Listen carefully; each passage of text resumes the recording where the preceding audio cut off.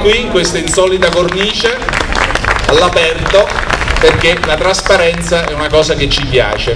E questo è un luogo che abbiamo di recente inaugurato, lo leggete alle mie spalle, Largo Valterio Cirillo, un signore che 22 anni fa ha deciso con un gesto estremo di porre fine alla sua vita perché era finito diciamo, nel tritacarne dell'allora Tangentopoli, nel tritacarne perché poco dopo, dopo aver ricevuto un avviso di garanzia, si è dire, scoperta la sua totale estranità ai fatti ma non ha resistito all'ignominia e abbiamo ritenuto di fare un gesto al ricordo di, di, quel momento. Però oggi non siamo qui per questo, siamo qui in un luogo fortemente simbolico, siamo contenti di aver intitolato alla memoria di Valterio Cirillo, ma siamo qui perché pensiamo che sia doveroso, a un anno dall'insediamento, rendere pubblico ciò che abbiamo fatto.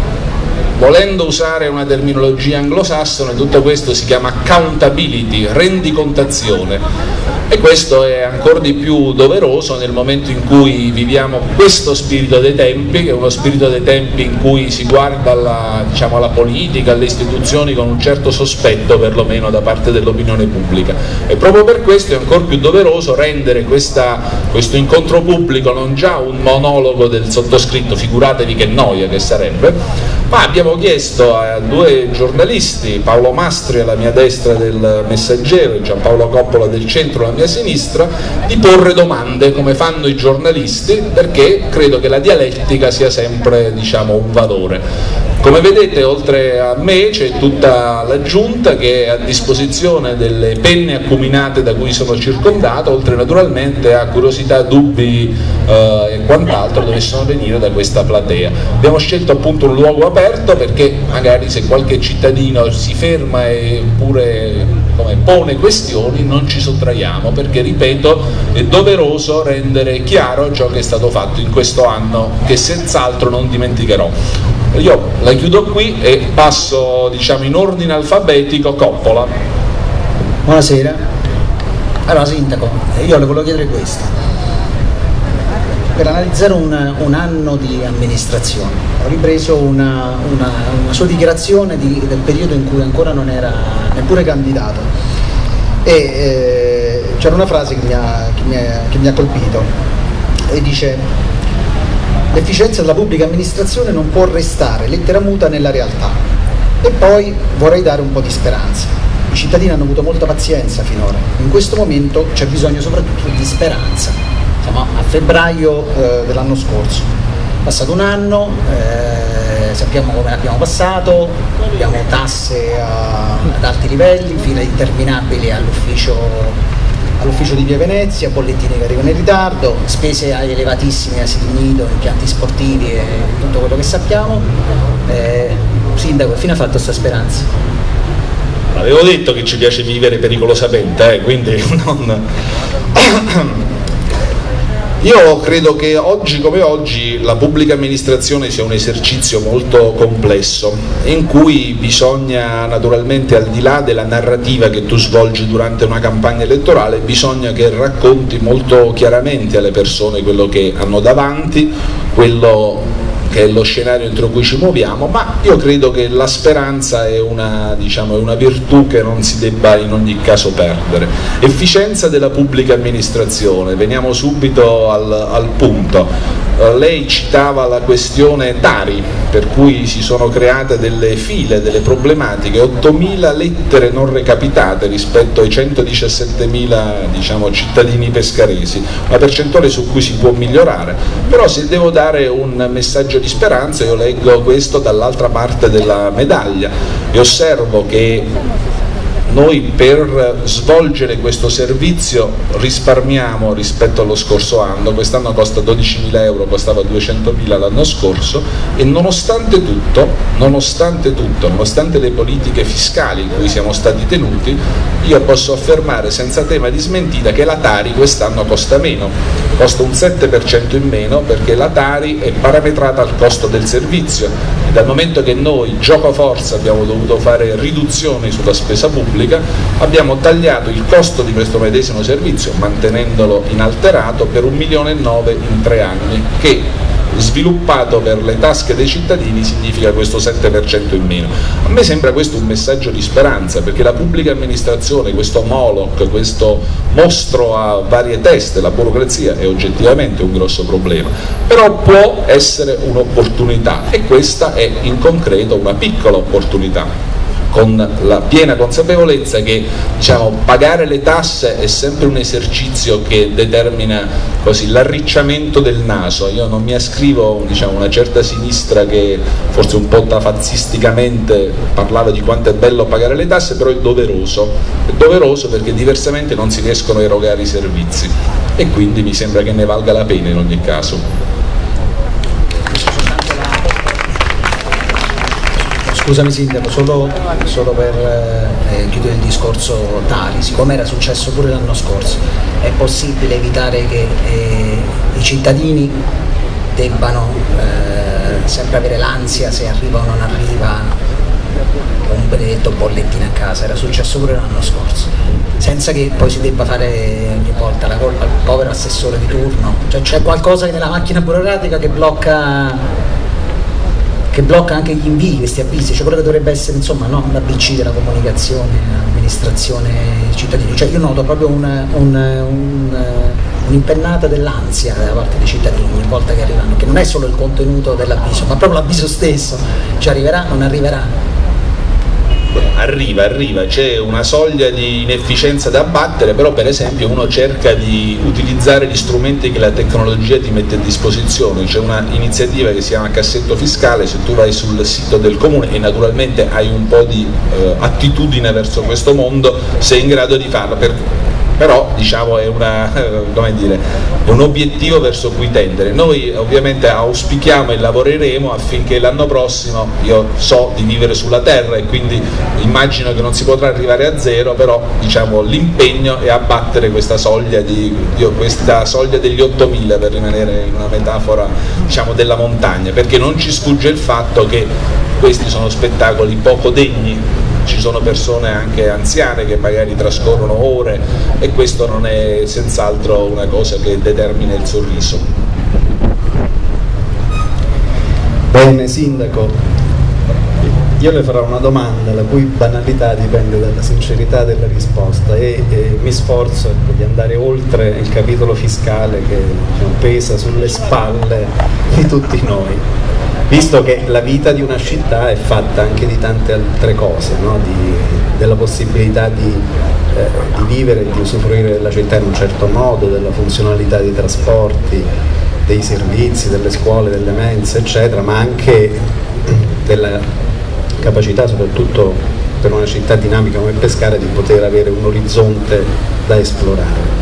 Ecco, questo primo anno, tutto considerato, è stato esattamente, esattamente come lei se lo immaginava oppure con la sera rincasando e chiudendosi dietro le spalle la porta di casa c'è qualcosa che le rode questo è stato senz'altro un anno, diciamo, se mi passate la battuta, vissuto pericolosamente, nel senso che oggi se tu vuoi una vita tranquilla certamente non devi fare il sindaco, che credo di poter affermare senza tema di smentita è il ruolo pubblico più esposto e temo anche più impegnativo perché sei la diretta interfaccia della cittadinanza. Però è parte del, del, mestiere e penso che nonostante diciamo, una discreta quota di oneri io resto convinto che non ci sia onore più grande che rappresentare diciamo, una comunità. A me il concetto di onore mi piace, non solo per eh, così, che non ho trascorsi diciamo, militari alle mie spalle, però disciplina e onore è quello che è richiesto a chi adempie funzioni pubbliche della Carta Costituzionale, l'articolo 54 e allora poi se capita a te di farlo cerchi di non rendere quella, diciamo, quel testo una lettera muta ma di viverlo ogni giorno, naturalmente con la fatica e l'impegno che questo comporta, ma io diciamo quando la sera mi lavo i denti non provo imbarazzo in quello che vedo allo specchio. Ecco. In ordine?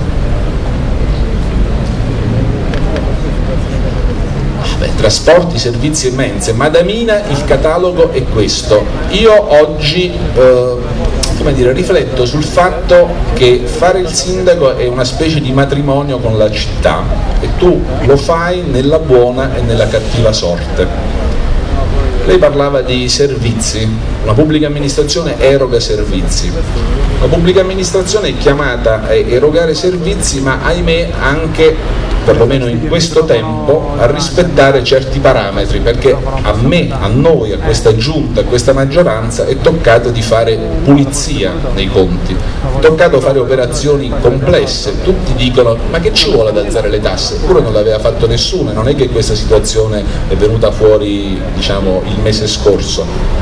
Il costo dei servizi, noi abbiamo avviato una procedura che si chiama riequilibrio finanziario pluriennale che è disciplinata dalla legge, dal testo unico degli enti locali, articolo 243 bis e seguenti e che ci piaccia o no, perché noi siamo tutti sottoposti alla legge, abbiamo l'obbligo di coprire il costo del servizio in una percentuale minima che è il 36% e noi per fare questo abbiamo dovuto fare dei tagli, abbiamo dovuto fare delle razionalizzazioni. E siamo partiti da certi ambiti in cui la copertura del servizio era veramente minima. Io cito questo ambito perché è un, un problema, è anche un problema diciamo così, di coscienza politica. Il, la cultura, noi abbiamo dovuto fare manovre davvero pesanti in questo ambito, però noi siamo partiti da un dato per esempio che la rete museale che costa un milione e due all'anno si remunera da sé per 50.000 euro quindi qui non è che c'è molto da dire, girarci attorno, si tratta di invertire una tendenza con il fatto che noi siamo ora nella terra di mezzo, siamo all'avvio di questo percorso, abbiamo fatto un anno e naturalmente questi benefici bisognerà aspettare perché io vede, ogni tanto rifletto sul fatto che la nostra epoca è dominata dal presentismo, voglio tutto e lo voglio subito, figuriamoci l'ambito politico. Eppure, poiché diciamo a parte dire, la prospettazione di, solu di stupefacenti soluzioni miracolistiche, io non conosco alternative al lavoro quotidiano con la richiesta naturalmente rivolta alla cittadinanza di essere giudicato al termine di un mandato perché cinque anni sono un lasso di tempo sufficiente per vedere se questi sacrifici che noi abbiamo chiesto sono, diciamo, ne valsa la pena. Io sono sicuro di sì e torno alla questione della speranza di prima, perché noi non possiamo pensare di, ahimè, vivere come abbiamo fatto fino a ieri, perché questo Paese e naturalmente anche pescare per troppo tempo ha vissuto al di sopra delle proprie possibilità. Questo è un conto che pagano le nuove generazioni. Io, vede, ho 44 anni, sono nel mezzo del cammin di nostra vita e ho il sospetto forse di far parte di quell'ultima generazione che in qualche modo è riuscita con uno scatto di reni a non essere risucchiata nelle sabbie mobili. Vado spesso in giro nelle scuole, ci vado il più possibile, oggi sono molto contento, ho registrato un messaggio di auguri ai maturandi e lo faccio perché penso che quello sia il nostro futuro, penso che la scuola sia uno specchio fedele della nostra società e ne sia una base. E lo faccio anche in qualche modo per, per cercare di infondere quella speranza a cui si diceva prima in un ragazzo che frequenta le scuole, che magari fa la maturità, che ha 19 anni, che ha meno opportunità dei suoi genitori ma anche meno opportunità dei suoi zii, perché è indubbio che oggi questo è un problema sul tappeto e però noi non possiamo diciamo, fare finta di niente, non possiamo pensare che tutto questo possa cambiare miracolisticamente, bisogna adottare delle cure, delle cure robuste, però ne vale senz'altro la pena. Sindaco, c'è un estremo bisogno di recuperare la fiducia nelle istituzioni. Non è mia, eh? è sua è sempre suo. familiare, sì. E dopo un anno vissuto pericolosamente, eh, questo rapporto di fiducia c'è ancora secondo lei? Allora, diciamo, mi sembrava familiare questa frase, allora io sono moderatamente alessandriniano, ecco, quindi sì, mi ci ritrovo. Io penso che, vede, diciamo, come amministratore pubblico io ritengo che ci sono due ambiti in cui mi muovo quotidianamente, cioè da un lato è la gestione ordinaria e straordinaria della cosa pubblica, dico straordinaria perché non passa giorno senza che sul mio tavolo arrivino problemi, casini, questioni dell'ultima ora magari da risolvere anche in fretta eccetera, però c'è un'altra linea d'azione che a mio avviso è di pari importanza alla prima che è quella a cui lei accennava, cioè del tentativo di recuperare un po' di fiducia a queste istituzioni, perché è un dato di fatto ineludibile quello per cui oggi è in atto una grossa crisi della rappresentanza, della rappresentanza politica, della rappresentanza istituzionale, della rappresentanza del mondo dell'economia, del sindacato, ovunque, e questo è un dato di fatto però io penso anche che questo falò di rabbia che gira, che, che, è evidente in giro, perché gli amministratori pubblici non sono dei marziani che vivono in quei palazzi, ma vanno in giro e continuano ad andare in giro e devono farlo proprio per non perdere il senso della realtà, ecco sono consapevoli che bisogna operare su, su, questo, su questo fronte. Poi diciamo, io ho qualche difficoltà a parlare di me stesso perché poi penso sempre che sia dire, perlomeno poco elegante, però se eh, devo dire una cosa osservo che ritengo di avere un solo patrimonio che è la mia credibilità poi ovviamente le scelte della pubblica amministrazione sono complesse, sono complesse e tu devi tenere bene ferma la barra a proposito del buon andamento e dell'imparzialità, ma se tu fai una scelta è sicuro che essa non sarà neutra, perché c'è qualcuno che ne viene dire, scarsamente soddisfatto. Però il punto è sempre quello di guardare al quadro d'insieme, all'interesse generale e poi la fiducia delle istituzioni vacilla quasi quotidianamente sotto i colpi, sotto il maglio delle, delle inchieste, degli scandali che sembrano una litania senza fine però naturalmente non c'è solo questo, quella è la patologia del sistema, io lo vedo nella mia, nella mia esperienza, la mia esperienza quotidiana che è frutto di, insomma, ho, sovente utilizzato metafore belliche per descriverla, però io mi accorgo comunque di essere circondato da persone animate dalle migliori intenzioni, poi ovviamente le migliori intenzioni si devono scontrare con la realtà, con questo tempo, questo spirito dei tempi che viviamo, con il fatto che oggi la pubblica amministrazione non è più in grado di erogare benefici come in passato, ma richiede sacrifici alla cittadinanza. La contabilità degli enti locali va in una direzione chiarissima, i comuni dovranno divenire eh, autosufficienti dal punto di vista finanziario, noi non saremo più in grado di fare come in passato, insomma, contributi a pioggia. Io continuo a essere stupito del fatto che diciamo, nell'ordine di, diciamo, di, importanza anche numerica delle questioni che mi vengono poste c'è naturalmente il lavoro, la casa popolare, le multe e le deiezioni canine, questa è una classifica piuttosto, piuttosto precisa.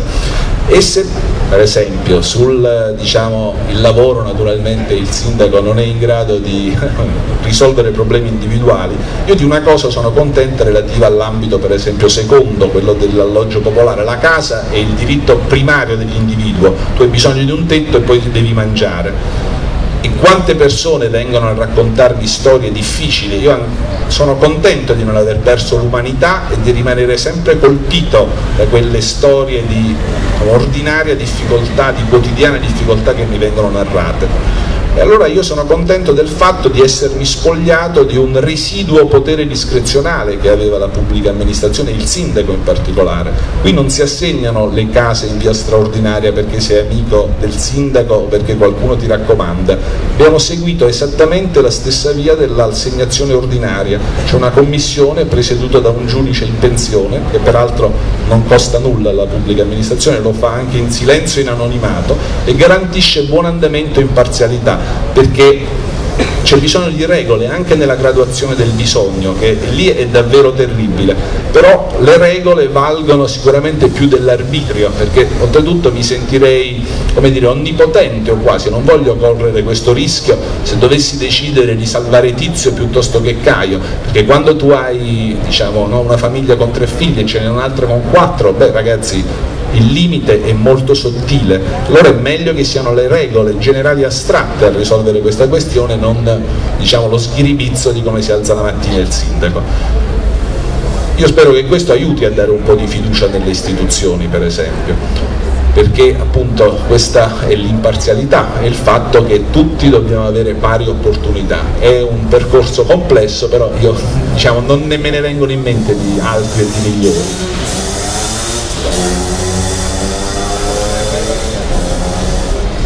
Sindaco, a proposito di casa, sul giornale di oggi abbiamo raccontato cosa accade quando Pescara va a dormire la stazione si trasforma in uno sterminato dormitorio, nei tunnel, negli anfratti dell'area di risulta si accampano centinaia di persone, lo stesso avviene sul lungo fiume, lungo la pista ciclabile, sotto i portici, nei cantieri e anche in qualche condominio che diciamo, pietosamente lascia agibile gli androni. Sono centinaia di persone è una situazione molto simile a quella che vediamo in questi giorni nelle stazioni di Roma e Milano, c'è una differenza che quella è un'emergenza legata al flusso dei migranti e quindi prima o poi finirà. Questa sembra essere legata ai flussi di migrazione irregolare, comunque una marginalità che tende a essere cronica. Se ne occupano di notte soltanto due strutture di volontari, è possibile che sfugga alle responsabilità del municipio tutto questo? Diciamo, io temo che nulla di quello che accade nella città di Pescara sfugga alle responsabilità del municipio perché diciamo, penso che la regola numero uno è che tu non puoi dire non mi compete perché tutto ciò che accade qui compete al sindaco.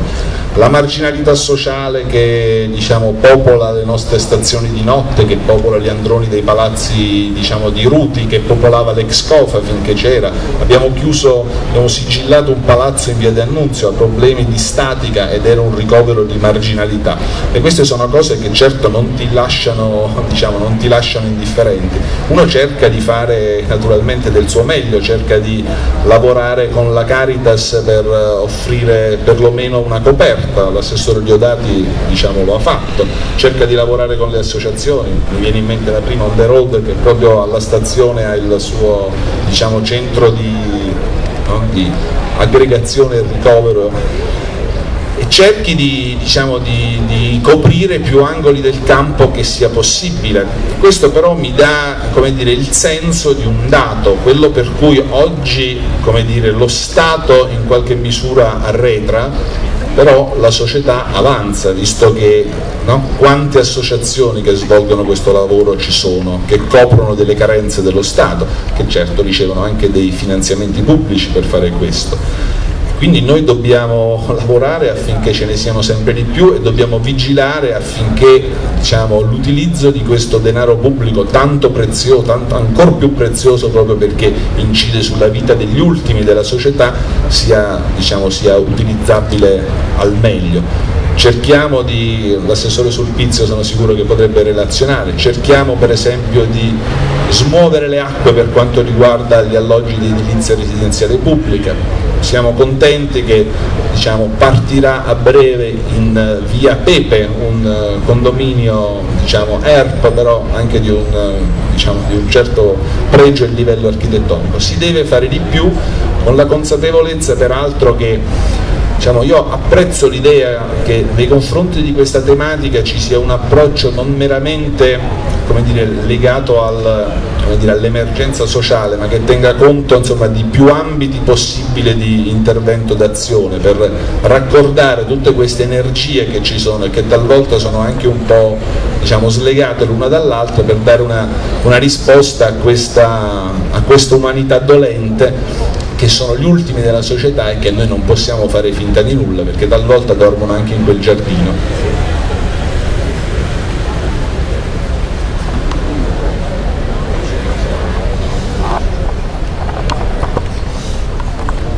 No, perché qui, attenzione, i, diciamo, la coppia di dioscuri che mi circonda, sempre all'insegna del vivere pericolosamente, giustamente con il piglio del giornalista di razza, mi suggerisce ma ci sono domande dal pubblico?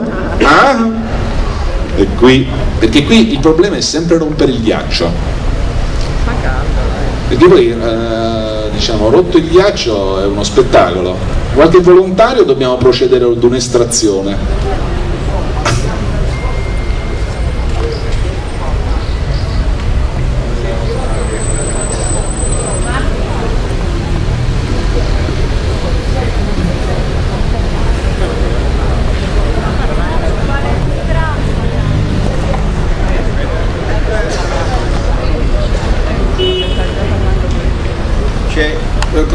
Io sono Sergio Simoncelli, c'è un'impresa che sono conosco benissimo Marco Alessandrini e stimo moltissimo, ma la cosa importante, ci sono persone buttate per strada dalla mattina alle 6, io quando esco da casa alle 6, però io vedo che quello continua a stare lì e io continuo a scrivere a chi devo scrivere, però non c'è stata mai una soluzione in merito. Quindi o una risposta precisa o se no è inutile che continuiamo a fare domande come ha fatto Paolo Maestro.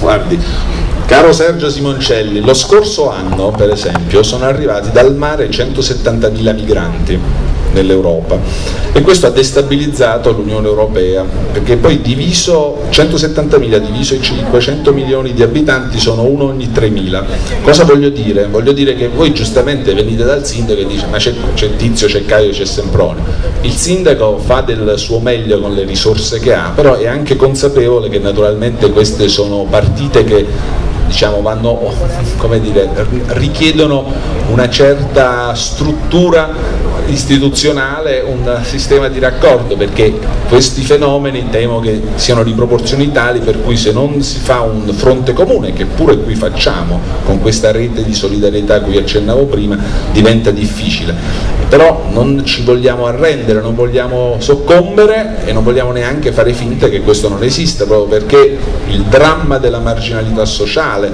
cioè che poi in senso più ampio è il dramma dell'immigrazione, tema solente cavalcato nel dibattito politico anche con una certa serie di strumentalizzazioni, è una questione centrale del nostro tempo però per fare questo io la risposta che le posso dare caro Sergio Simoncelli è naturalmente la necessità di fare la più grande massa critica possibile perché le istituzioni un po' rattoppate in questi tempi però se non si mettono insieme non sono in grado di fornire risposte. Però le istituzioni lo fanno questo, si mettono insieme lei non ha idea quanti, in quel palazzo lì quanti tavoli sull'ordine eh, provinciale per la sicurezza ho, ho diciamo, frequentato e quante volte è stato parlato di questo. Vi do anche un'altra diciamo, cosa che diciamo, vale dire, i, numeri sono poi utili io penso per capire la società. Mi arriva con una certa frequenza settimanale un report per esempio delle azioni mirate di intervento che, eh, che vengono svolte, non so, carabinieri, polizia municipale, guardia di finanze, nelle zone più disparate della città, diciamo da piazza Salotto al ferro di cavallo per intenderci. Lì eh, diciamo, non ci sono battaglioni di eh, corazzieri, ci sono 7, 8, 9 persone quando va bene. Questa è la massa critica che in grado, sono in grado di mettere le istituzioni e io naturalmente apprezzo questo lavoro, sono sicuro che si può e si deve fare di più, però partiamo da questi dati, non da altri.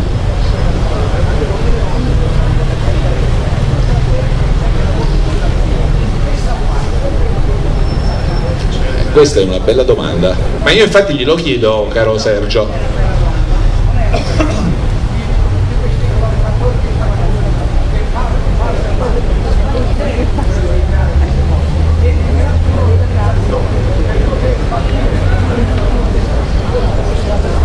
Prego. Buonasera a tutti, sono Andrea Oliva, Società Svizzera di Radiobiologia e Fisica Medica, sono un giornalista, scrivo per il mensile Il Faro. Come sappiamo tra gli oneri della pubblica amministrazione c'è la materia degli agenti fisici, per esempio la questione eh, annosa, mi permetto, di San Silvestro, e eh, questa materia rientra nel novero dei temi della sicurezza i cui costi sono esentati anche dai vincoli di patto di stabilità. Volevo chiedere in, in una prospettiva larga, ampia, eh, su questa linea qual è l'indirizzo della pubblica amministrazione. Grazie. L'incipit di questa domanda mi ha fatto pensare a un film in cui c'è Paolo Villaggio che viene chiamato a un telequiz e gli chiedono i nomi e i cognomi di quelli che stavano nella curva del Maracanã in occasione della partita finale, mi sembra eh, Brasile-Uruguay, finale del campionato del mondo. Però diciamo che rispondiamo anche a questo. San Silvestro è una questione atavica, annosa e antica. San Silvestro è una questione che abbiamo affrontato e che affrontiamo, c'è un assessore delegato ad hoc eh, posso fornire un aggiornamento in ordine al fatto che il 25 e il 26 di questo mese, adesso non ricordo con precisione la data, avremo un incontro con eh, il ministro Guidi il ministro dello sviluppo economico visto che diciamo, molte di queste problematiche naturalmente insistono su un territorio comunale ma le soluzioni temo che vadano ricercate altrove. In questo senso si parla no, della necessità di fare massa critica istituzionale l'auspicio naturalmente è quello di lavorare per eliminare un problema che si trascina da decenni, un problema che si trascina da decenni e che ha accompagnato anche lo sviluppo urbano di San Silvestro destro, perché quando c'erano queste antenne non c'era nulla, poi piano piano sono cresciute le case. Naturalmente uno ci abita in una casa e eh, vuole, come è giusto che il suo diritto alla salute venga tutelato,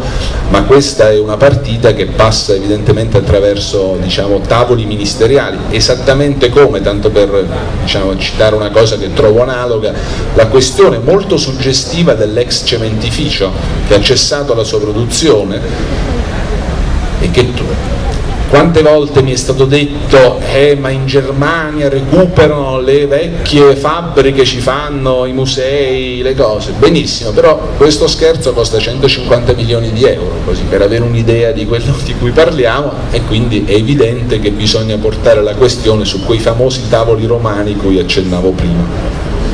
Grazie signor Vol- Oh, un altro volontario. Sta arrivando il microfono. Oh, ma ci sono pure gli assessori che me li sono portati a fare però, eh. Buonasera a tutti. Allora, eh, caro Silvio, intanto complimenti per come sta, si sta sviluppando questa serata, anche grazie ai, nostri, ai miei colleghi che hanno posto le domande importanti e serie.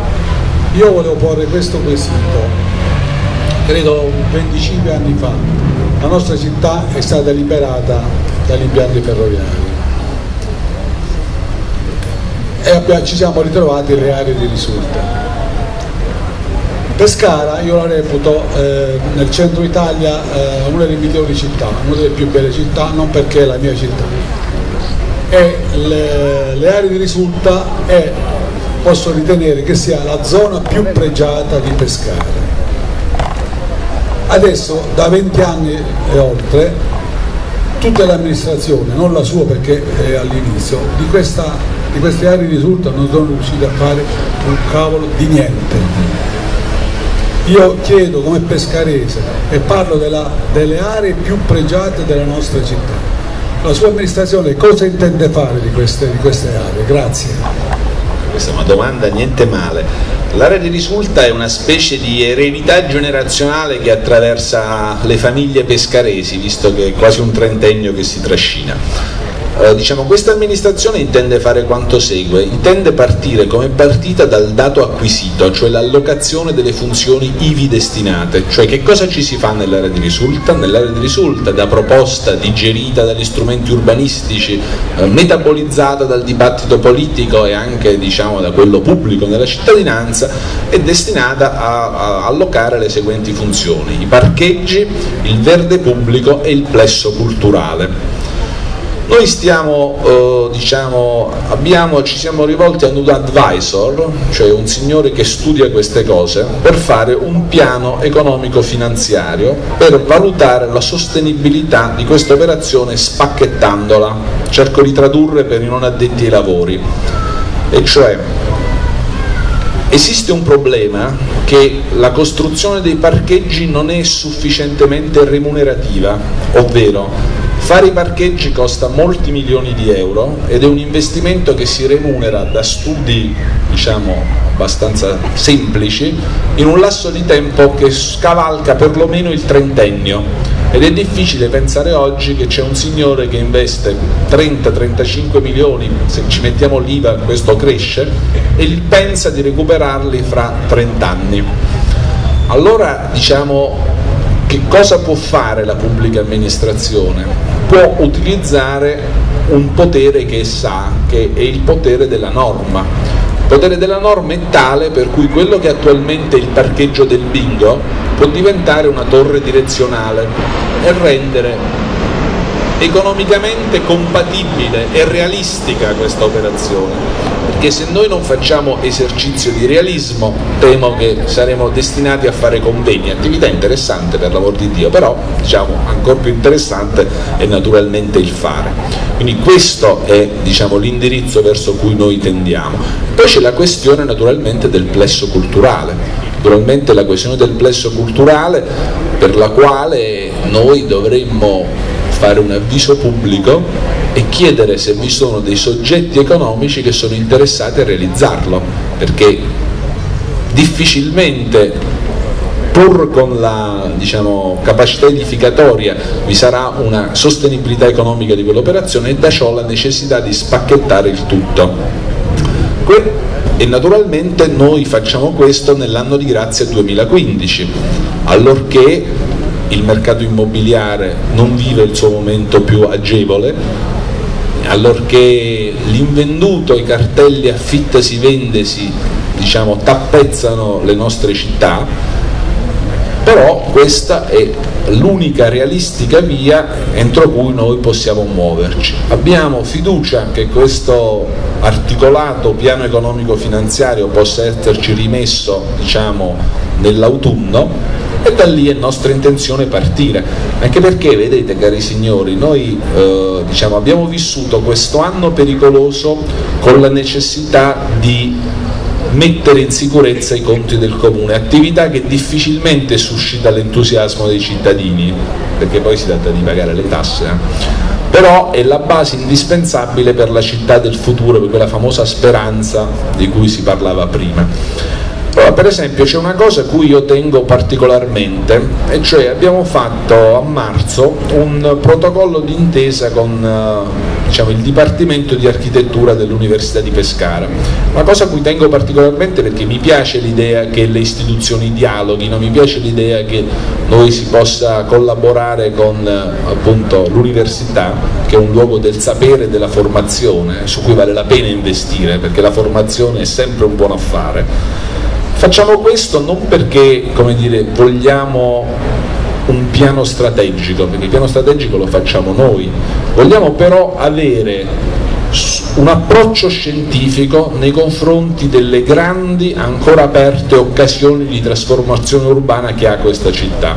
E lo vogliamo fare avendo un approccio, ripeto, il più possibile scientifico, che vada a delimitare con chiarezza quali sono le vocazioni cittadine, e che valga ad evitare un costo che oggi non ci possiamo più permettere, quello cioè delle inutili duplicazioni, omaggio a un gigantismo, aggiungo io, provinciale, che oggi, ribadisco, non, si, non sta più né in cielo né in terra. Quando io sento che a Montesilvano, a Francavilla vogliono fare il porto, mi si drizzano i capelli, perché mi sembra una cosa da secolo scorso, da secolo breve.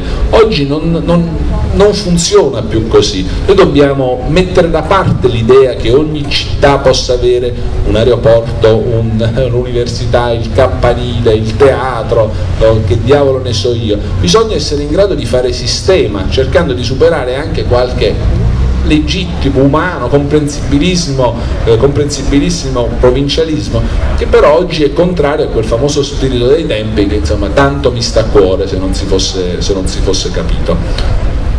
Domande? Dubbi? Curiosità?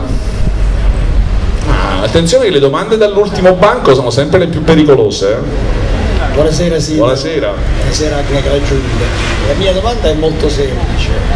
Noi viviamo in una città adriatica bellissima che fa invidia a moltissime città europee, soltanto che le città europee, specialmente a nord, hanno delle piste ciclabili sulle quali percorrono giornalmente centinaia e centinaia di ciclisti Pescara che si adatta moltissimo per la sua eh, conformazione geografica, abbiamo purtroppo qualche, qualche deficienza.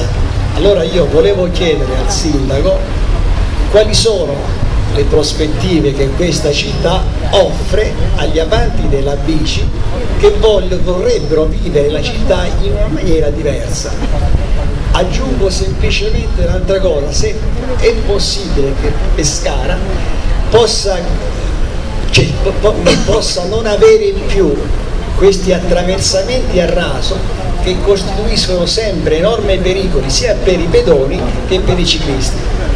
Pescara ha tante rotatorie, per cui a mio modo di vedere non è facile certamente, ma con un po' di impegno potremmo risolvere tutti questi attraversamenti a raso, vedo via Marconi, vedo via Gabriele D'Annunzio, vedo via Lembovio, che spesse volte questi attraversamenti causano degli incidenti.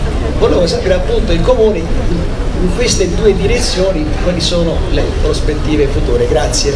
Grazie È noto che, il, che, io vado in bicicletta, adesso mi hanno anche dato una scicchissima bici elettrica pedalata assistita e quindi l'argomento diciamo senz'altro non mi è indifferente, anche perché diciamo, l'ho cronometrato, quando io vado in bicicletta arrivo prima di quelli che vanno in macchina insieme a me e quindi già questo è un buon investimento, si dimagrisce anche il problema di cui ho eh, insomma, che mi sta anch'esso a cuore.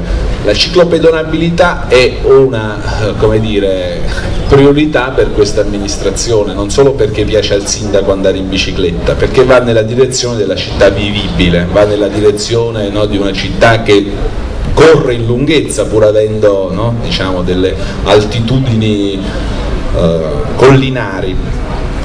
E certamente c'è la necessità di essere protagonisti come stiamo facendo in questo anno rispetto a un progetto ancora più ambizioso della, di Mamma Regione a proposito della pista ciclopedonale più lunga d'Europa, proprio per valorizzare questo, insomma, la bellezza del territorio, ciò che nostro Signore ci ha donato. E poi c'è quella diciamo, asse di penetrazione interno che è costituito dal fiume, su cui pure bisogna lavorare, su cui pure si stanno organizzando, superando quei limiti cui accennavo prima, tante municipalità, tutte le municipalità che sono bagnate dal fiume Pescara, che attraversa eh, tre province peraltro, questo confesso è una cosa che ho scoperto, ma la geografia non è il mio forte. È chiaro che eh, queste sono operazioni articolate e proprio per questo vale la pena chiedere di essere giudicati dalla cittadinanza entro un quinquennio, perché la pubblica amministrazione non è dotata di bacchetta magica, però è una diciamo, linea di, dire, di, indirizzo che riteniamo del tutto, del tutto prioritaria. Non ho capito francamente la questione degli attraversamenti a raso, per essere chiaro, però immagino che vada nella direzione per cui è ovvio che la ciclabilità deve fare i conti con l'esistente, cioè con quei pezzi di pista ciclabile per intenderci che sono, e con la natura urbana che ci circonda, con uno sviluppo caotico che sovente rende difficile il rammendo tra le piste medesime, pur con la consapevolezza che dire, non è un'eresia ma anzi è diciamo, elementare, elementare mobilità quella per cui diciamo, queste operazioni di rammendo possono eh, svolgersi lungo le sedi stradali con corsie dedicate come avviene in tutti i paesi di quell'Europa cui è bene guardare come modello.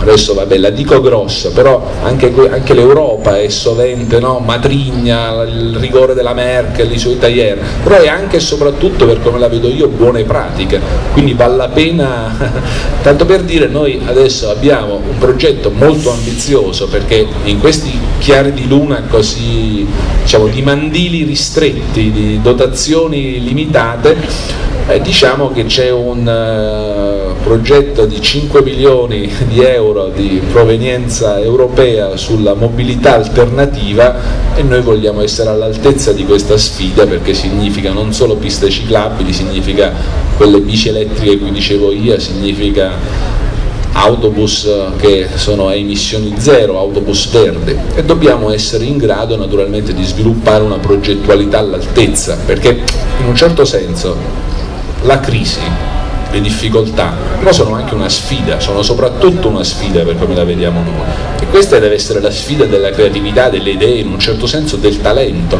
per essere in grado di mettere in campo quella progettualità che ti serve a intercettare certe vitali linee di finanziamento e questa è una vicenda che da questo punto di vista è emblematica. Noi i progetti li abbiamo, naturalmente dovranno essere validati dai competenti organismi europei, però siamo fiduciosi sulla qualità del, diciamo, del capitale umano che li ha partoriti. Eh, buonasera a tutti, sindaco sono io. Antonio Di Girolamo. Siccome wow. so, sono stato sollecitato da un po' di cittadini per quanto riguarda il parcheggio a pagamento a Porta Nuova. Secondo me in un momento così pesante per i cittadini che a volte c'è gente che non può comprare nemmeno il pane, mettere 3 euro che va per andare al mare, comprare la pizzetta, prendersi una Coca-Cola perché ho una bottiglia d'acqua, noi non dobbiamo fare queste forzature perché secondo me sembra una forzatura be bella e buona. E un'altra cosa lo dico, chi fa lo sfalcio delle erbe va seguito perché tagliano l'erba non come bisogna tagliare lo buttano là, tagliano mezzo sì, mezzo no. Un'amministrazione, penso che quella vostra sia un'amministrazione buona, deve controllare. Non so se lo deve fare l'assessore, lo deve fare il dirigente, ma devono controllare. Ecco, quello che gli dico io, glielo ripeto, da parte dei cittadini di Porta Nuova, questo fatto di mettere 3 euro per il parcheggio mi sembra una forzatura bella e buona. Grazie Sindaco. mi sembrava strano che non fossimo arrivati ai parcheggi e diciamo dire, volendo, fare, volendo dare una risposta così si potrebbe obiettare che diciamo, se uno non ha di che comprarsi il pane probabilmente dovrebbe riflettere in termini di economia domestica sull'opportunità di avere una macchina o meno, perché la bicicletta, ripeto, è un mezzo di trasporto molto efficace. È un dato di fatto che lo spirito dei tempi impone una nuova considerazione dell'uso dello spazio pubblico, che sicuramente diciamo, significa scontrarsi con abitudini legittimamente inveterate ma che tuttavia devono fare i conti ancora una volta con lo spirito dei tempi, perché in qualunque località turistica tu vada, i parcheggi sono a pagamento, i parcheggi vicino, al mare sono particolarmente a pagamento e diciamo anche con eh, diciamo, importi superiori. E poi invece voglio dire, aggiungere una parola con sorriso in ordine allo spalcio delle erbe, che prendiamo naturalmente come un monito ad essere sempre più attenti, ma eh, è noto fatto che questa amministrazione ha cominciato direttamente a sfalciare le erbe, a pulire i giardini, abbiamo già delle richieste dopo i fasti di sabato scorso e quindi adesso abbiamo già un paio di, diciamo, di iniziative da... Ma perché noi facciamo questo? Non solo perché diciamo, trascorrere qualche ora all'aria aperta fa bene, ma perché vuole essere in qualche modo un, uno stimolo, un invito ai cittadini di unirsi a noi, di unirsi a noi magari venendo a pulire un parco o al limite unirsi a noi idealmente pensando di non sporcarlo, perché eh, qui si possono fare naturalmente tutte le critiche che si vogliono e noi ce le prendiamo senza battere ciglio, però è un dato di fatto che sulla civiltà media eh, si potrebbe fortemente dibattere.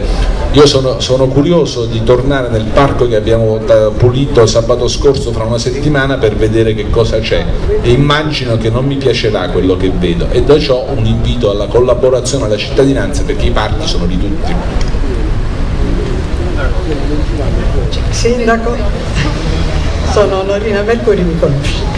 Eh, non parlerò di, dei problemi sociali perché ne parliamo ampiamente tutti i giorni, però vorrei farti due domande diverse, due, richieste diverse. Noi abbiamo una città che è sicuramente molto bella, però eh, in, questi, in, questi, tempi eh, sembra essere deturpata da un modo di costruire selvaggio, selvaggio in questo senso una casa alta, una bassa, una verde, una gialla. Ecco, lei non ritiene, non ritiene che dovrebbe essere approntato da Pescara e non costa un piano sulla uh, estetica perché questo secondo me va bene alla città, la fa diventare bella e forse va bene anche per il commercio e per il turismo. La seconda cosa, noi abbiamo come CGL come altri gruppi femminili, anche la, la famosa eh, Amici della Filanda, abbiamo eh, fatto una conferenza stampa l'altro giorno perché chiediamo a questa amministrazione due, eh, due cose. Un posto dove, che può essere lo stesso, un posto dove eh, fare un museo del lavoro femminile, perché abbiamo una storia in questo legata non solo alla filanda ma alle birrerie, alla lavorazione del tabacco, una storia che ha visto le donne soprattutto sfruttate ma comunque parte della società. E vorremmo una casa delle donne che non è una casa delle donne del fanciullo, cioè non è una casa legata alla violenza, ma è una casa dove le donne possono confrontarsi, visto anche, eh, visto anche la situazione delle donne, che sono quelle che risentono di più della, di questa situazione economica, sono la disoccupazione delle donne del 2% in più rispetto a quella maschile, le donne sono quelle che hanno una pensione più bassa, ecco per queste cose che cosa vuole fare il sindaco su queste richieste? Allora, città deturpata. Adesso non vorrei dire una stupidaggine, ma mi pare che addirittura esista un regolamento dei colori in questo, in questo ente, vedo. Poi un dato è quello certamente alla base di uno sviluppo urbano che non di rado è stato caotico, indiscriminato, che ha prodotto insomma, certe brutture e storture. Fra le linee di indirizzo a proposito di questa idea diciamo, di città del futuro eccetera io credo che il tema sia quello del consumo zero di suolo come diciamo, linea di massima perché il suolo è un bene prezioso e va utilizzato al meglio delle sue possibilità. E voglio però eh, diciamo, spendere qualche parola in più sulla questione che lei pone. Ero talmente sicuro che mi ponesse la questione della Finlandia che me l'ero scritta prima che la dicesse sì, sì, sì, perché cioè, male che fa mi posso riciclare come mago televisivo, insomma, cose di questo tipo. Allora, la Filanda Gianmaria è una vicenda che ha attraversato un pezzo sensibile di opinione pubblica cittadina, cioè un luogo simbolo del lavoro che non c'è più che non c'è più perché è stato abbattuto legittimamente all'esito di un percorso amministrativo, perché è stato dato diciamo, un legittimo permesso di costruire che determina l'abbattimento di quello che per, come, per quello che ho visto io era solo diciamo, un pezzo anche un po' pericolante della fu Filanda Giammarini. Lei poi pone un problema che pure sapevo e che naturalmente non mi lascia insensibile perché le donne sono l'altra metà del cielo, figuriamoci le lavoratrici e le persone sfruttate. Mi domando tuttavia proprio perché io sono amico di Platone ma sono più amico della verità, come mi piace ripetere, mi domando se oggi non sia il caso di interrogarsi su una superfetazione museale, e la dico con una terminologia un po' da avvocato, cioè significa che qui si, fare, si, vogliono fare tanti musei, bene, perché questo è un sintomo della vivacità culturale di una città, che è un antidoto formidabile contro l'indifferenza, però poi i musei devono essere anche in grado di funzionare da sé, perché quella, diciamo, quel dato che citavo qualche diciamo, oretta fa a proposito del costo del sistema museale è lì e noi certo non possiamo tornare indietro verso quella direzione, dobbiamo pensare a strutture che siano in grado di sostenersi da sé senza il supporto, supporto finanziario pubblico. E sulla casa della donna mi lasci dire che ho qualche perplessità, se possibile ancora maggiore, perché mi sembra che non c'è bisogno di chiudersi in una riserva indiana, tanto più che le donne hanno legittimamente, meritatamente conquistato posizioni in tanti ambiti della società. Sono stato qualche settimana fa a un interessante dibattito degli ordini professionali in cui a proposito del cambiamento del, di questo mondo si sottolineava l'ingresso e la presenza delle donne, dall'avvocatura alla medicina, eccetera, eccetera. Mi duole constatare però che uno dei pochi residui avamposti del maschilismo resti proprio la politica, quei palazzi lì. Quindi l'auspicio è che senza quote rose, perché poi le signore sono sempre più brave dei maschietti, ci possa essere una nuova generazione di donne, di signore che siano pronte a spendersi per la cosa pubblica, che è attività impegnativa, che magari difficilmente si concilia con certe esigenze familiari, ma che sicuramente vale la pena fare. Eccomi, sindaco. Ah, ah, ah. Ha fatto un intervento in te che scivolato. Il signore...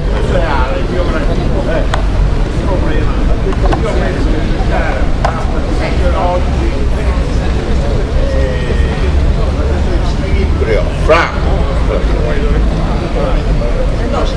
Vabbè, eh, in effetti Pescara non può mantenere i suoi musei, eh, anche se io questo lo vedo, eh, ed è un problema che si rende sempre più difficile, quindi io concordo con quanto con la preoccupazione del sindaco. Invece il grande problema di Pescara è quello delle biblioteche. Questa è una città che è a un livello da mesolitico per quanto riguarda le strutture. Cioè c'è un arretramento rispetto a 40 anni fa. Eh, pensate che le sole biblioteche esistenti sono quelle da, da D'Annunzio che è quella di 50 anni, 60 anni fa più quella struttura regionale che se lo di Burtina che tra l'altro è irraggiungibile perché le piste ciclabili va bene ma tu alla di Burtina con la bicicletta non ci puoi andare se non sei invocato al suicidio eh, eh, io sono tuttora sono arrivato a 80 anni in queste condizioni perché amo la bicicletta di conosco eh. quindi professore prende biblioteche non è un problema strettamente comunale dal punto di vista formale e giuridico, ma è un problema della città. Eh, io giro per le città, mi piace girare, non si sente. Eh. Qual è la domanda? Eh, fammi eh, mi hai premuto fatto la passeggiata. Eh, allora, allora, vedi, vedi, non è una presa te ne frega la biblioteca, avrai letto due libri guida tua, no, vabbè, vabbè. Eh, allora, eh, allora, questo è il grosso problema che ci dobbiamo porre in futuro. Io la biblioteca, sapete dove la vedo? In quel grande errore che è stato fatto recentemente della, dei lavori della, del mercato di piazza un'opera che ha reso quella struttura architettonicamente validissima, ma non è da mercato, a parte che è un suicidio anche quello, perché chi va lì a comprare quando non puoi parcheggiare, adesso ha situazioni di parcheggio di gran lunga inferiori a quelle che aveva due o tre anni fa. Io là ci vedrei una biblioteca. Non me ne frega un cavolo che l'ha fatta, le sagge, non lo dico. Eh? Comunque, Comunque è venuta, è una, io parlo di cose concrete amico, perché io faccio, sono impegnato socialmente e politicamente anche da, da libero pensatore da 50 anni in questa città e conosco i problemi. E allora io là vedrei. Pescara dice una delle più belle città d'Italia, vabbè ciascuno si vive, ci vive bene. Ci va bene però Pescara ha un privilegio che nessuno sottolinea. Noi abbiamo il più bel parcheggio d'Italia. Cioè questa è una città che ha un parcheggio continuo grazie all'area di risulta e di questo dobbiamo dare ai vecchi amministratori che parte da via Teramo via Teramo, via Pisa e, e finisce a via Leopoldo Muzzi quasi. È un privilegio che nessuna città d'Italia, nessuna, però potrebbe essere quello è la fortuna di questo. Il parcheggio, scusate se mi scandalizzo, questa è una città che potrebbe avere il parcheggio gratuito per tutti, dobbiamo conservarlo perché? Perché è un ammortizzatore sociale, perché se no sono 80 persone impiegate a cui non sappiamo dare alternativa. La domanda è questa. Sì, sì, abbiamo capito. Abbiamo, possiamo, cioè, ecco, possiamo, raccogliere qualche altra domanda perché oltretutto diciamo, la stampa ci deve lasciare e poi c'è una domanda da una signora in rosso che non vedo l'ora di farmi fare. Eccomi, Sindaco, Assessori, buonasera. Sono arrivato al termine di questo incontro, quindi se il mio intervento era già superato mi interrompa pure. Un referendum popolare ha espresso in ampia maggioranza la volontà di un'area metropolitana e lei sa di che cosa parlo. Che tipo di interventi ha preso l'amministrazione comunale di Pescara per pungolare la regione Abruzzo in tal senso? Grazie. Altro?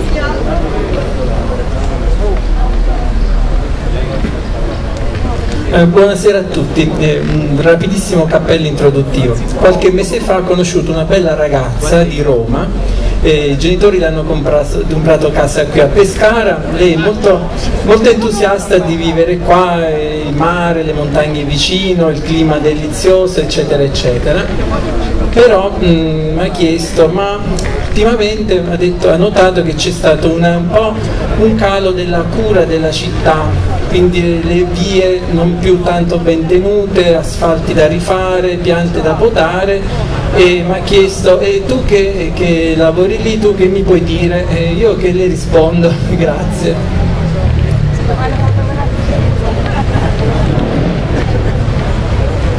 Sindaco, mi scusi se torno sull'argomento della, della zona sud di Pescara che mi sta più a cuore, ci sono nato, è una zona che conosco come le mie tasche. Io vorrei portare la sua attenzione su un argomento che costituisce pure un po' l'identità di questa città e le parlo della riserva naturale della Pineta Annunziata. Allora io in quella riserva naturale ci sono nato, ci faccio sport e ho seguito in tutti questi anni il suo declino c'è un piano di riassetto della, della riserva d'Annunziana che giace nei cassetti del comune e non viene in qualche modo attuato. Peraltro ci sono anche dei problemi annosi all'interno di alcuni comparti che vanno risolti e anche in breve termine, le parlo del laghetto che deve essere bonificato perché è una cloaca a cielo aperto, le parlo anche delle centinaia di piante di pini che per motivi dire meteorologici e, per, e anche magari per mancata potatura, manutenzione mancano all'appello. Nel comparto 3 e 4 mancano 600 alberi. Allora io chiedo come mai non c'è attenzione su uno degli elementi che rappresentano l'identità di questa città? Grazie.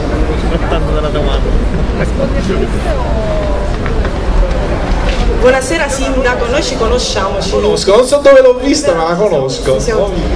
Non avrei voluto eh, fare interventi, però visto che mi chiama, mi sollecita, che non si dica mai che il Movimento 5 Stelle non risponde, mi hanno in realtà un po' anticipato, c'è un signore che ha già anticipato la domanda come Movimento 5 Stelle ma soprattutto come cittadina che ha votato sì al referendum sulla Grande Pescara come il 70% di pescaresi gliel'ho chiesto in consiglio glielo chiederemo con una mozione. Che cosa intende fare questa amministrazione in merito appunto a questa volontà popolare plebiscitaria che vuole la fusione di questi tre comuni? Grazie. Allora diciamo, io adesso risponderei, poi facciamo un giro finale con i Dioscuri e... Ehm, allora, in ordine sparso. Partiamo dalle biblioteche che interessano molto a Pio. E eh, biblioteche è un bel posto, perché è un posto dove si tramanda il sapere, dove si studia.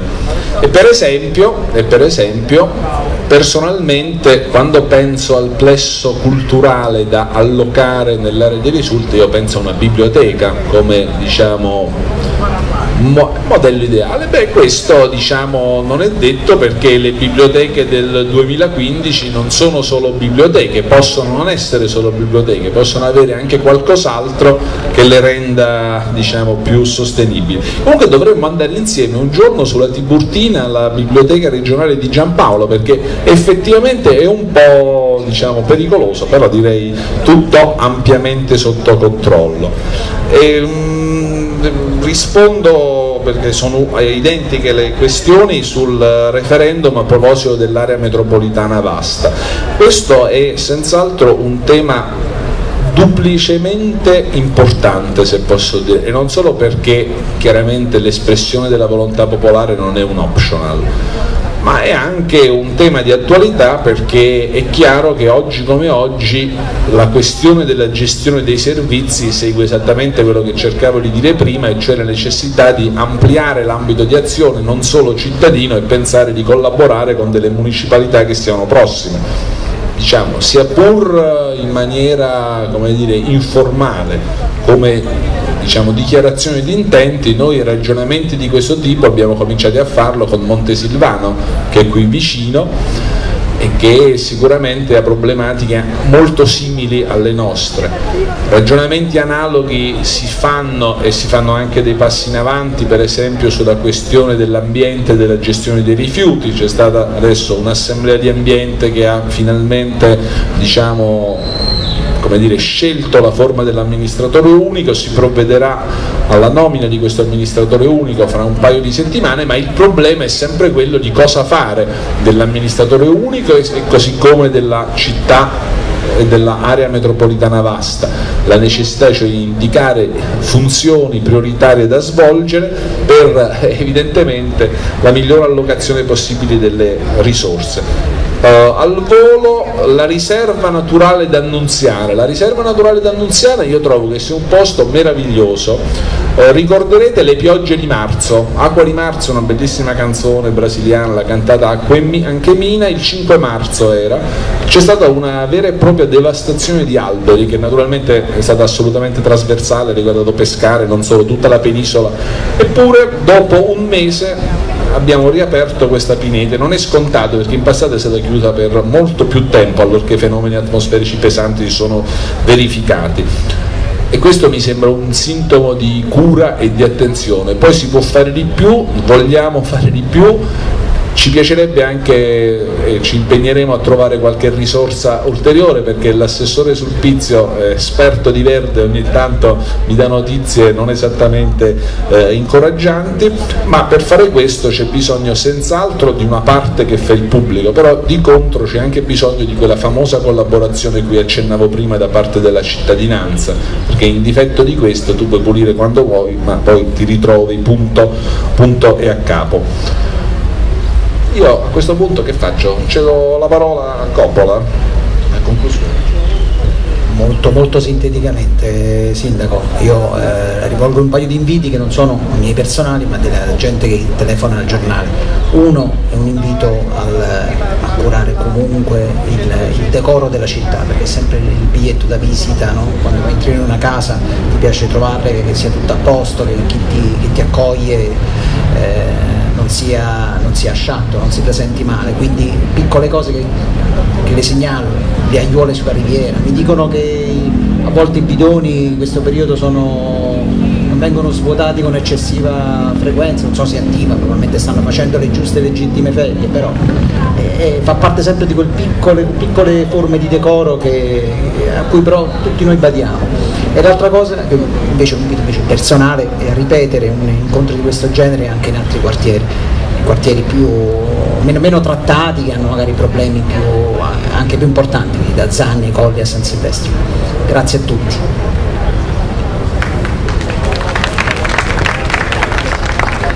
Allora Sindaco, torniamo all'inizio di questa storia, le, le, due gambe dell'economia pescarese sono state edilizia e commercio, sono le ragioni del boom e, del, e degli anni di benessere successivo.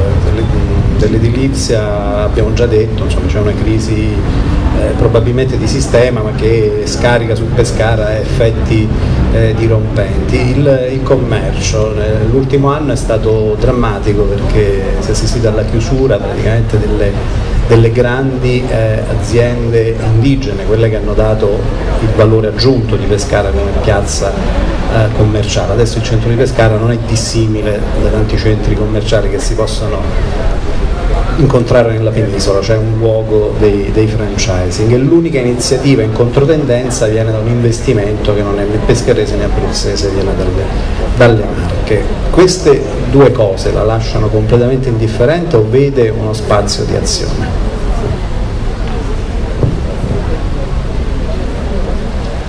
Allora, decoro urbano, il diciamo decoro urbano è la cosa che più di tutte qualifica un'amministrazione, evidentemente, perché tu attraversi passeggi per strada e vedi in che stato sono le aiuole, in che stato sono i bidoni, in che stato sono i parchi, eccetera. Non è esattamente andata come volevamo circa le dotazioni che noi possiamo destinare alla manutenzione urbana, che nella mia campagna elettorale resta, e resta nell'azione di governo la più grande e importante opera pubblica. Certo non è facile fare manutenzione urbana quando questi capitoli sono diciamo, piuttosto magri, ma evidentemente questo significa uno stimolo per ancora una volta migliorare, ma ribadisco chiedendo sempre questa collaborazione alla cittadinanza perché la città è di tutti. E poi collaborazione alla cittadinanza, decoro della Riviera mi fa pensare per esempio al fatto che abbiamo attivato, di questo ringrazio l'assessore Marcheggiani, una raccolta differenziata sulla Riviera, chiaramente scontrandoci con logiche comprensibilissime ritrosie rispetto al passato, però l'ambizione per esempio è di evitare che sia normale se tu cammini alle 8 di sera vedere i cumuli puzzolenti di spazzatura. Questo diciamo, è un piccolo segnale naturalmente ma a me sembra anche significativo proprio perché va nel senso della direzione del decoro e della collaborazione, perché la Riviera è super biglietto da visita. La crisi del commercio lascia indifferente il sindaco? No, caro dottor Mastri, la crisi del commercio naturalmente non lascia indifferente il sindaco, però io so anche che è il mercato bellezza, il mercato e tu non puoi farci quasi niente, o meglio, noi abbiamo pensato, avevamo ipotizzato a forme di diciamo, agevolazione fiscale, questo ci è impedito dal piano di riequilibrio. E allora dobbiamo valorizzare, qui adesso Cuzzi si illuminano gli occhi, il nostro vulcanico assessore al commercio, Sure.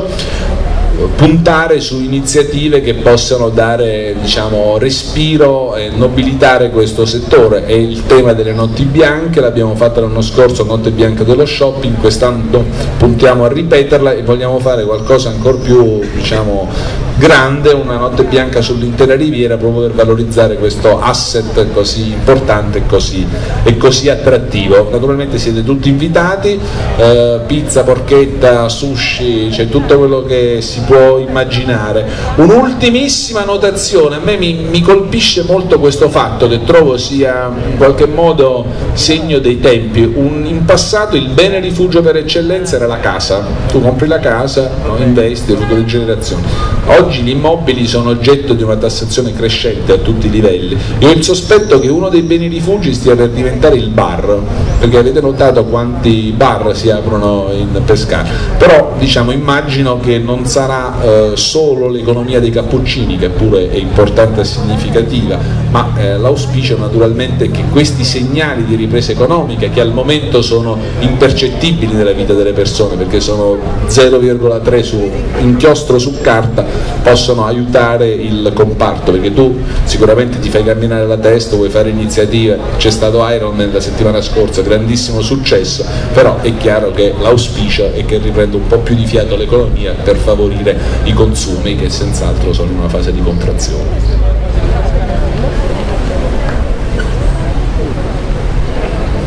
Ah, mo, eh, che, perché dico qua ho parlato solo io adesso prima di eh, diciamo, chiudere in bellezza questa, questa serata diciamo, vogliamo far dire qualcosa a questi meravigliosi guerrieri e guerriere al mio fianco? Di Jacopo, che facciamo sulla cultura? Va bene, allora inizio io dagli assessori. Allora, eh, chiaramente eh, mi sono ritrovato in uno scenario che è quello che più mi appassiona perché io mm, vivo di cultura, lavoro, insegno all'università, scrivo romanzi, quindi sono estremamente felice di questo ruolo che ho avuto. Chiaramente la cultura ha numerose ferite, di cui la praticamente assenza di eh, contributi finanziari è soltanto una piccola parte di questi. È terminata un'epoca, secondo me, cioè il, la, la l'accidente che noi abbiamo, le voci della cultura a costi ridotte, sicuramente sono un fatto tragico, ma non possono essere un alibi per non nutrire, alimentare di cultura questa città che credetemi ha tantissima voglia, tantissima fame e sede di cultura. Contate che a Pescara ci sono oltre 300 associazioni culturali, soltanto una piccola parte delle realtà che fanno cultura e che vogliono cultura da questa città, ma sono significative. Nonostante questa grave diciamo, riduzione del budget siamo riusciti a mettere in campo circa 200 iniziative culturali in questi 12 mesi. Questi creano attualmente una serie di collaborazioni, sinergie tra associazioni, mettendole insieme, facendo sì che su progetti comuni si possa convenire. Inoltre abbiamo praticamente anche l'aspetto dei musei della città. Noi abbiamo un unico vero grande museo in centro che è il Museo Vittorio Colonna, un grande importante museo qui vicino che è il Museo Cascella e poi abbiamo uno spazio nuovo, diciamo molto caleidoscopico come possibilità che è l'Aurum. E inoltre abbiamo un circolo a Ternino che è un po' un avamposto nel centro storico di quello che noi vogliamo fare come proposta culturale. Ognuna di queste strutture ha una sua vocazione, una sua identità e per questo va riempito con un programma molto preciso. Io per il Museo Colonna, ma forse sto togliendo troppo tempo anche agli altri assessori, dico giusto due parole e poi sicuramente voglio sentire anche gli amici con me. Il Museo Colonna è un museo al centro della città ed è l'unico museo strutturato per ospitare grandi mostre che possono a loro volta incrementare una fruizione e partecipazione del centro della città con un conseguente rivitalizzazione di quella zona che diceva prima il sindaco appunto andata via via svuotandosi. Per il museo no, perché io potrei dire tante di cose sulla cultura. E poi per quella struttura abbiamo dato vita a un programma che è iniziato con l'ottobre dell'anno scorso e terminerà a gennaio dell'anno prossimo, di mostre di alto livello, di mostre di livello internazionale e nazionale, per il fatto che vogliamo far sì che il massimo della cultura, diciamo dell'arte italiana e europea possa avere sede lì.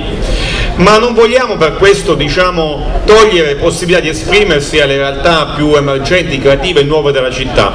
Per il Circolo Aternino, che come dicevo prima sorge nel centro storico di Pescara, una zona che voi avete visto da un lato, cresce per frequentazione, locali eccetera, ma dall'altro crescerci anche il problema della sicurezza e spesso quella zona così bella che noi amiamo è stata agli onori della cronaca per fatti negativi. Puntando su quel luogo, il Circolo Ternino, come fucina di energie creative, mostre, affermazioni e associazioni giovanili, vogliamo un po' rinnovare il volto interno della città. Ma siccome c'è tanto altro da dire sulla città, questo è un piccolo spaccato sulle questioni della cultura. Io passo dalla mattina alla sera eh, nell'ufficio mio qui sopra, chiunque di voi voglia approfondire questi discorsi, fare proposte e partecipare con me alla ricostruzione culturale della città è ben accetto. Grazie a tutti. Diciamo, a grande richiesta, una, io mi devo diciamo, allenare come bravo presentatore, però mi sembra che ne abbiate avuto abbastanza. Gli assessori ve li diamo insieme ad una gabbia di leoni la prossima volta. Grazie naturalmente per essere stati qui, è stato un vero piacere. Non ha neanche piovuto, cosa che temevamo. Ok Edge, play the blues, musica.